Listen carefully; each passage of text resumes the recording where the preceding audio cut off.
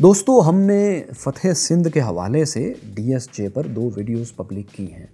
इन पर अब तक हज़ारों कमेंट्स हैं। इन कमेंट्स में कुछ दोस्तों ने तो लॉजिकल सवालात उठाए हैं, जिनका जवाब दिया जाना चाहिए और मैं दूँगा भी। कुछ ने सिर्फ़ दिल की भड़ास निकाली है, अब ज़ाहिर है उनका जवाब तो मैं क्या दे सकता हूँ। हाँ ऐसे दोस्तों से एक गुजारिश ज़रूर कर सकता हूँ। वो ये कि आप आज की वीडियो ज़रूर देखिए क्योंकि एन मुमकिन है, आप वाकई कुछ पूछना चाहते हों, लेकिन आपको मुनासिब अल्फाज ना मिले हों। तो फिर आपने जो मुनासिब समझा, वो टाइप कर दिया। मगर इस वीडियो को देखते हुए वो सवाल, वो क्रियोसिटी जो आपके दिलो दिमाग में थी, उसकी सेटिस्फेक्शन एन मुमकिन है, हो सकता है कि हो जाए, मैं तो पूरी कोशिश करूँगा। तो सबसे ज़्यादा ये सवाल पूछा गया या इस तासर का इजहार किया गया कि हमने मुस्लिम मुसनफ़ीन की किताबों से नहीं, बल्कि गैर मुस्लिम मुसनफ़ीन नॉन मुस्लिम राइटर्स की किताबों से फ़तेह सिंध के लिए रेफरेंस लिए हैं और उन किताबों को बुनियाद बनाया है जो मुसलमानों के मुखालफी ने लिखी हैं। तो दोस्तों, फ़तेह सिंध की कहानी बुनियादी तौर पर तीन किताबों से ली गई है और हमारी पूरी वीडियो में उसके रेफरेंस हैं, एक चाचनामा दूसरी तारीख़ सिंध और तीसरी फतूहुल बुल्दान। चचनामा वो किताब है जो उन अरबों के पास महफूज थी जो मोहम्मद बिन कासिम के साथ सिंध पर हमले के लिए आए थे। वो ना सिर्फ़ अरब थे, बल्कि मोहम्मद बिन कासिम और हजाज बिन यूसुफ के कबीले सकफ़ी से ही ताल्लुक़ रखते थे और इन्हीं सकफ़ियों ने चचनामा खुद लिखा था या लिखवाया था। अब ये हुआ कि यही सकफ़ी लोग फिर हिंदुस्तान में आकर रहने लगे। इनमें से कुछ इन्हें यहाँ काजी कहा जाता था। इन्हीं के पास ये किताब थी चचनामा जिनसे एक पर्शियन हिस्टोरियन अली कूफ़ी ने हासिल की और इसका फ़ारसी तर्जुमा कर दिया। अली कूफ़ी को शुरू में कुछ शक था कि ये किताब शायद सकफ़ियों की नहीं, बल्कि किसी और अरब ने लिखी है। लेकिन इन सकफ़ी अरबों का कहना था, वो बजीद थे कि ये किताब उन्हीं के बुज़ुर्गों ने लिखी है और नस्ल दर नस्ल उनके पास चली आ रही है। तो इस पर्शियन अली कूफ़ी ने इस किताब को फ़ारसी में तर्जुमा किया और इस फ़ारसी से पाकिस्तान में ये फिर उर्दू में तर्जुमा हो गई। ये तर्जुमा पाकिस्तान के किसी भी बुक स्टोर पर आपको चचनामा या फ़तेहनामा सिंध के नाम से मिल जाएगा, कोई मुश्किल नहीं। अच्छा अब ये किताब कितनी अथेंटिक है? इसका जवाब ये है दोस्तों कि इस किताब इस एक किताब के अलावा और कोई किताब है ही नहीं, जिसमें फ़तेह सिंध की इतनी तफसील हो और वो किताब मोहम्मद बिन कासिम की ज़िंदगी के बिल्कुल पास लिखी गई हो। इस किताब के बाद फ़तेह सिंध पर, राजा दाहिर पर या मोहम्मद बिन कासिम पर आज तक जो कुछ भी लिखा गया है, उसकी बुनियादी मालूम इसी किताब से ली जाती हैं, आज भी ली जाती हैं। जैसे कि हमारी दूसरी किताब जो हमारा रेफरेंस थी, वो तारीख़ सिंध थी, जो एक नामवर आलम दीन सैयद अबू ज़फ़र नदवी ने लिखी थी और ये किताब छपी थी एक मशहूर आलम दीन सैयद सुलेमान नदवी के दारुलमसनफ़ीन से, यानी वो एक तरह इसके पब्लिशर थे। उन्होंने इसका मुकदमा भी लिखा था इस किताब का, इसकी तारीफ़ में जो स्टार्ट में चंद सफ़े लिखे जाते हैं। उस किताब में भी, जो सैयद सुलेमान नदवी के के प्रिंटिंग प्रेस से छपी थी, यानी उनके, वो उसके पब्लिशर थे, उसमें जा बजा चचनामा ही के रेफरेंस हैं। तो दोस्तों, हमारी जो तीसरी किताब है, फतूहुल बुल्दान, ये भी मुसलमानों ही की लिखी हुई है, और ये नबी पाक सल्लल्लाहु अलैहि वसल्लम के इब्तदाई दौर से गजवात से लेकर बाद में जितनी भी मुसलमानों ने बड़ी बड़ी फतूहत की, उन सब का इस किताब में ज़िक्र है एक एक करके बहुत तफसील से है। और ये ये किताब जिन लोगों ने लिखी जिन लोगों ने ये किताब लिखी, फतूहुल बुल्दान वो उन तमाम जगहों पर गए जो, जहाँ पर ये जंगें हुई, ये वाक़ात हुए, फिर ये किताब लिखी गई। तो ये इस किताब को तारीख़ में बहुत अथेंटिक माना जाता है। तो दोस्तों, इन तीन किताबों से हमने बुनियादी रेफरेंस लिए फ़तेह सिंध के। तो इसमें आपने समझ लिया कि सारी जंगों का ज़िक्र है। तो दोस्तों, आपको अब ये बात वाज हो गई होगी कि चचनामा तारीख़ सिंध और फतूहुल बुल्दान ये तीनों वो किताबें हैं जो मुसलमानों की लिखी हुई हैं। और इन्हीं राइटर्स की किताबों से बुनियादी मालूम ली। तो उम्मीद है कि मैं आपके इस सवाल या इस तासर को एड्रेस कर पाया हूँ, जो आपने कहा कि हमने गैर मुस्लिम मौरखीन की किताबों पर ज़्यादा ट्रस्ट किया है। ऐसा नहीं। अब आते हैं आपके दूसरे सवाल पर कि डॉक्टर मुबारक अली और जी एन सैद की तनकीद को वीडियो में क्यों जगह दी गई? तो दोस्तों, देखिए कि जब भी आप तारीख़ को देखते हैं तो सच के करीब पहुँचने के लिए बहुत ज़रूरी है कि आप उन लोगों को भी पढ़ें जो उस बयानिए से इत्तेफाक नहीं करते जो पेश किया जा रहा है। तो जब हम फ़तेह सिंध की सारी कहानी उन्हीं मुसनफ़ीन से ले रहे थे जो मोहम्मद मोहम्मद बिन कासिम की हमायत कर रहे हैं, या अरब हैं, या इस फ़तह के साथ हैं तो ये एक लॉजिकल बात थी कि हम उसके मुखालफी की तनकीद को भी जगह दें ताकि बैलेंस तो क्रिएट हो ना किसी तरह। तो मेरे ख़्याल में यही इंसाफ था और यही किया गया। इसके अलावा कोई रवैया है ज़्यादा इंसाफ पर मबनी? तो आप मुझे कमेंट्स में ज़रूर बताइए। हम कोशिश करेंगे कि उसको भी जगह दें। हाँ इस इस इस बात को, उनकी तनकीद को तस्लीम करना या ना करना, ये बहरहाल आपका और मेरा अपना इख्तियार है। हम उस तनकीद पर से अगर मुतासर हों, हमें वो लॉजिकल लगे तो हमें उसे मानना चाहिए, ना लगे तो ना माने। लेकिन वो हमारे सामने ज़रूर आनी चाहिए। तो ये, यही काम हमने किया। तो दोस्तों, डॉक्टर मुबारक अली जो हैं, ये पाकिस्तान का बहुत बड़ा नाम है। तारीख़ पर इनका काम लाजवाब है। इन्होंने अपनी सारी ज़िंदगी मालो दौलत जमा नहीं की, बिज़नेस नहीं किया, कोई कारोबार नहीं किया, बस तारीख़ ही पर तहकीक की है और यही इनकी स्पेशलिटी है, यही इनका नाम है। इसलिए इन्हें कोट करना, इनका रेफरेंस देना मेरे ख़्याल में दोस्तों बहुत ज़्यादा मुनासिब है था। दूसरा नाम जी एम सैयद है। वो एक ख़ास नुक़ नज़र रखते हैं। मैं जानता हूँ, मुझे भी उनकी बहुत सी बातों से इख्तलाफ है। लेकिन वो दोस्तों सिंधी कौम प्रस्त हैं। इसलिए सिंध की तारीख़ पर जब आप बात करेंगे तो एक सिंधी कौम प्रस्त, जिसकी इस बारे में बहुत सी किताबें, बहुत सी तहरीरें हैं तो हम भले उसकी राय को मुस्तरद कर दें, लेकिन वो राय मेरे पास और मेरे ज़रिए आपके पास होनी चाहिए। दयानतदारी यही है कि हम आपको असल जगहों से पूरी कहानी भी दिखाएँ, सुनाएँ और फिर इस पर जो लॉजिकल एतराज़ात हैं, वो भी दिखा दें। तो माई क्यूरियस फेलो हमने ये काम अपनी दानिस्त में पूरी दयानतदारी से किया है और आप तक पहुँचाया है। अब आपकी जो राय है सर आँखों पर हमने अपनी वजाहत जो सिर्फ़ इसलिए है कि जो लोग वाक़ता वाक़ता सच्चाई से इस, इन सवालों के जवाब जानना चाहते थे।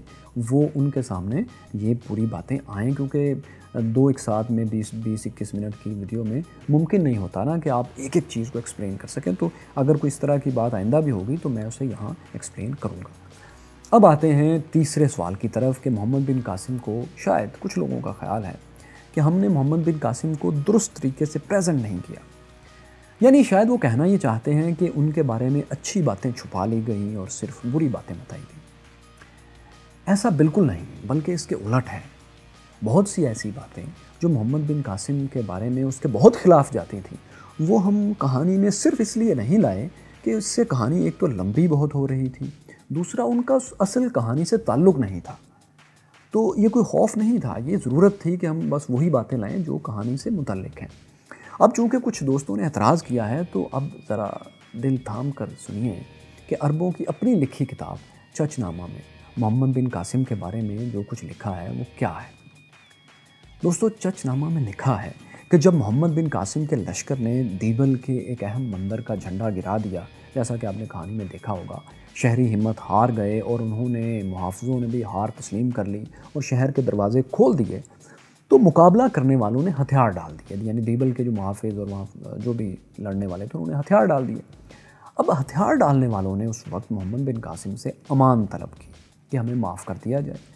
और उस दौर में और आज भी एक रिवाज है कि जब दुश्मन हथियार डाल दे तो अमूमन उन्हें कत्ल नहीं किया जाता। इस्लाम में भी यही है। लेकिन मोहम्मद बिन कासिम ने जवाब दिया कि मुझे अमान देने का हुक्म नहीं है। फिर अरबों ही की लिखी हुई इन किताबों के मुताबिक चचनामा के मुताबिक तीन दिन तक हथियार डालने वालों को कत्ल किया जाता रहा।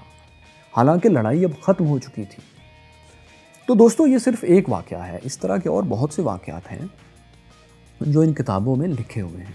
तो हमने कहानी को ज़्यादा तवील ना करने के लिए बहुत से वाक़ात और बातें स्किप कर दी, ताकि इस पूरी तारीख़ी कहानी को, इतने अहम वाक़े को, इतने तारीख़ के इस अहम मोड़ को दो एक साथ में समो सकें और इस तरह उसको दो एक साथ में पूरा करें कि आपको सारे वाक़े की समझ भी आ जाए, हर एंगल भी आपके सामने हो और आपको हम बोर भी ना करें।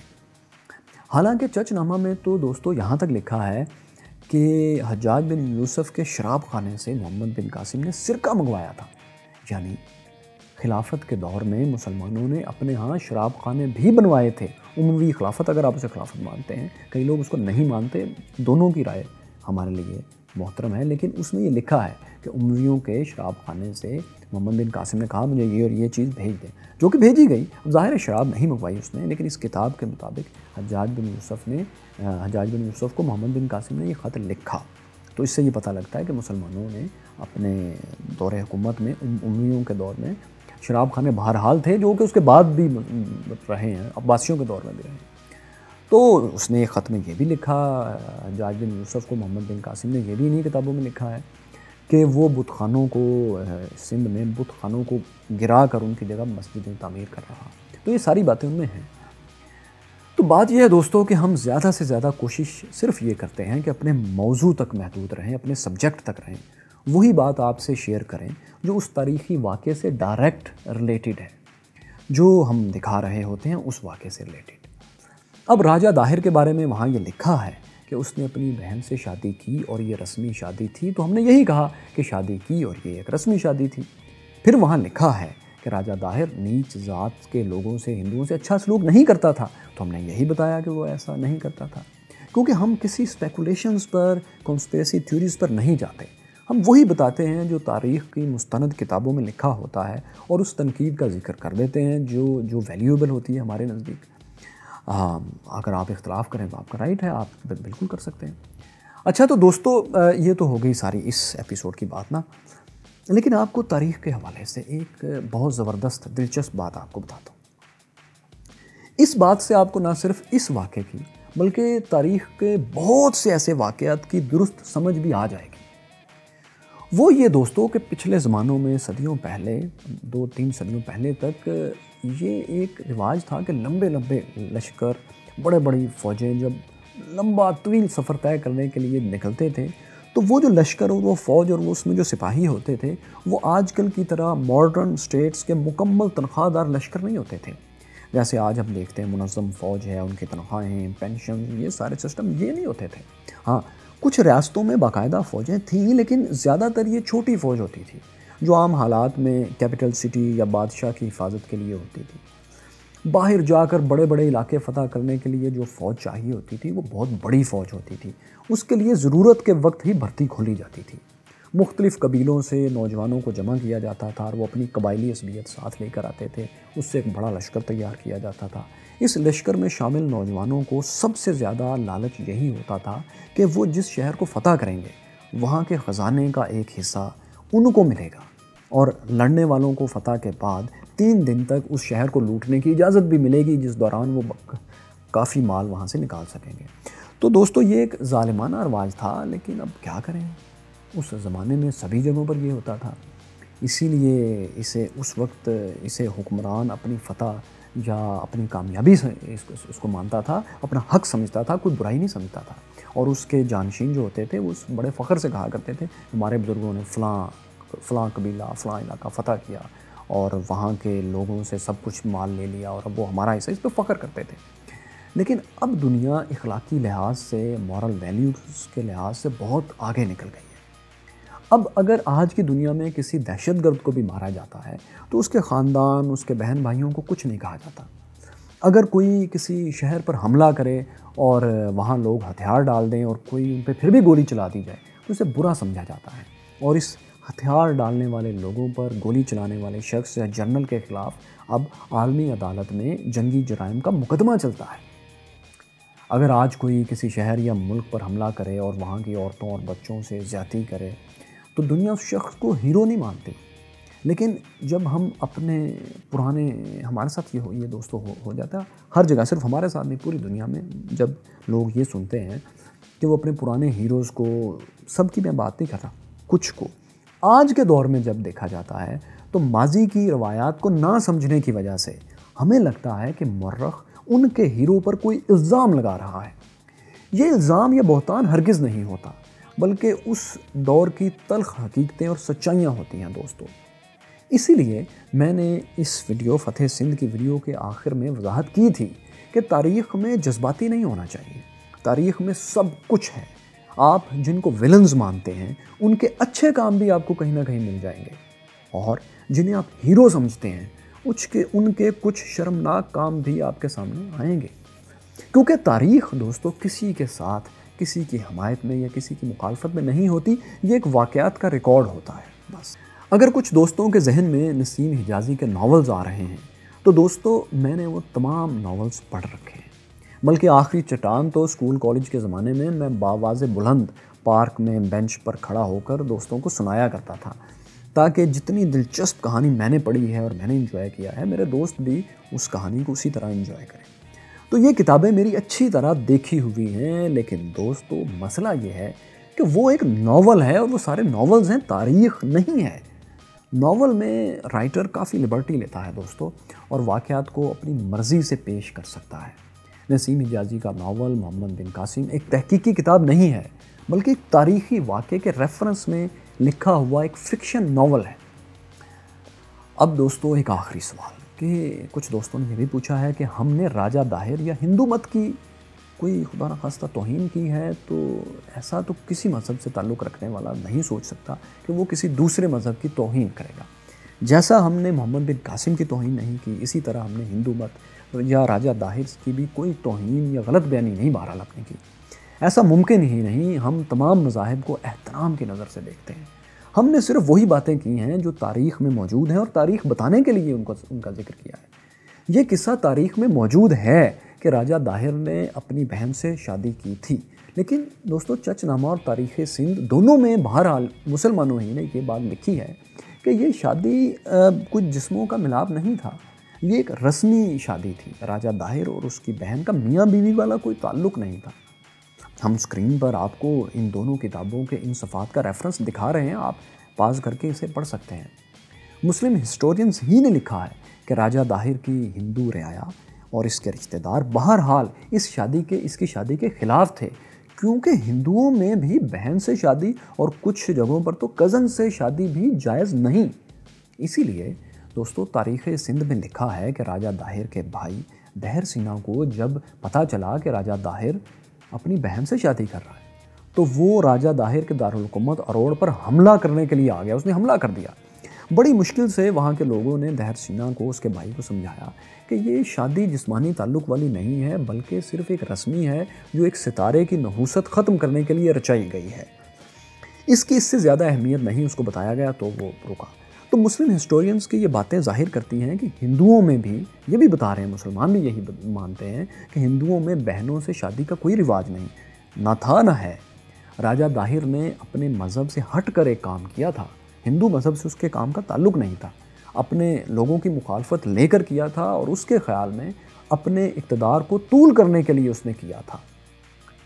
अगर किसी दोस्त ने ये वाक्य नहीं देखा तो मेरे जहन में आ रहा है, शायद किसी को ना पता हो तो मैं उनको बता दूँ कि नजूमियों ने राजा दाहिर को एक दफ़ा बताया कि उसका इकतदार, उसकी बादशाह एक ऐसा शख्स छीनेगा जो उसकी बहन से शादी करेगा।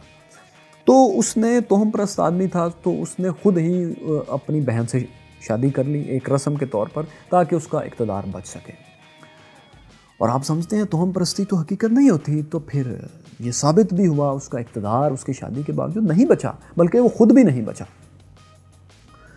तो दोस्तों, इन सब बातों के बाद जो आपके कमेंट्स थे और आप सबके कमेंट्स में और मेरी टीम पढ़ती है, आप सब बहुत मोहतरम हैं। इसलिए ये बताना ज़रूरी था कि कुछ चीज़ें जो हम मुख्तसर वक्त में नहीं बता पाए, इस वी लॉग में आपको मैं बता दूँ। लेकिन आखिर में मैं एक मुख्तसर सी बात ज़रूर कहना चाहता हूँ। कि दोस्तों, इल्मी गुफ्तु को इल्मी ही रखा जाए तो बहुत अच्छा होता है। इससे हम और आप कुछ सीख कर अपने हाल और मुस्तबिल को बेहतर कर सकेंगे। जज्बाती कौमें और जज्बाती लोग दोस्तों, तरक्की नहीं करते, बल्कि बल्कि उनके जज्बाती रवैये हादसात का बायस बनते हैं। बस जहन को खुला रखें और सोचते रहें, को एग्जिस्ट और पुरअम दुनिया के लिए काम करते रहें। वीडियो देखने का, दोस्तों, शुक्रिया मेरे इस वीलॉग को देखने का। शुक्रिया। लेकिन दोस्तों थोड़ी सी मार्केटिंग के मुख्तलिफ़ नस्लों के लोगों को समझने के लिए मैंने एक जनरेशन गैप पर एक अच्छा सा वीलॉग बनाया था, वो भी देख लीजिए। और लिबनान और इसराइल के ताल्लुकात बड़े, उसमें कुछ दिलचस्प तारीख़ी वाक़ात हैं। अभी के कुछ वाक़ात के रेफरेंस में, उसे भी देख लीजिए।